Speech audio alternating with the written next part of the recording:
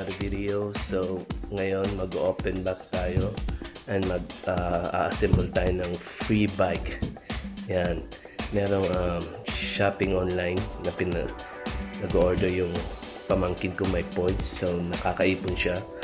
So, lagi siyang nag-order doon.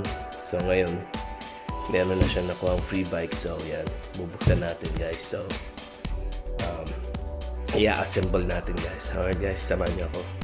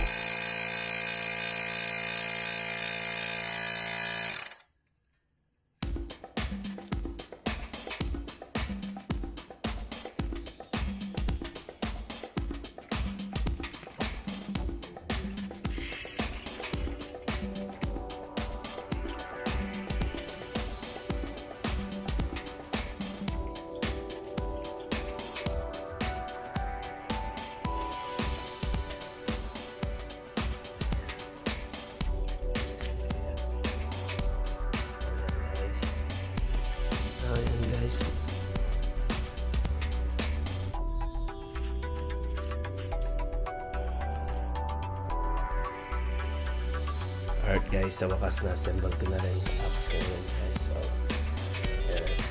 Free lang yan. Free. Free lang yan sa ano. Sa ewan ko pa anong sh- online, shopping online. Yan. Yung pamangkin ko kasi ang nag ano. Ano kasi. Ayun guys. So, kung bago pa kayo